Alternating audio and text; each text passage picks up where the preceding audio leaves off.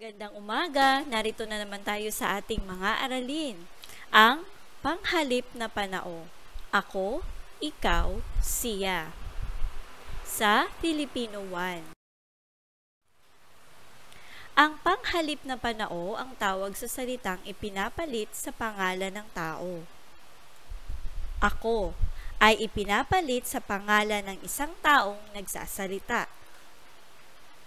Halimbawa, ako ay pupunta sa mall bukas.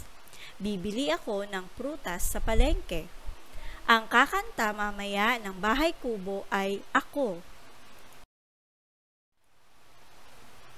Ikaw ay ipinapalit sa pangalan ng isang taong kinakausap.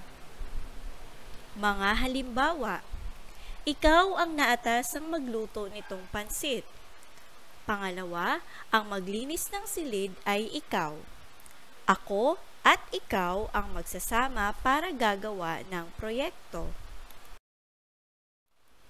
Siya ay ipinapalit sa pangalan ng isang taong pinag-uusapan. Mga halimbawa, siya ang bibili ng mga gagamitin natin sa proyekto. Ang susundo kay ate ay siya. Siya ay maganda at mabait. Pagsasanay Sa lungguhitan ang tamang panghalip na panao sa bawat pangungusap. Una, ako, ikaw, siya, ang may-ari ng lapis na ito. Pinag-uusapan.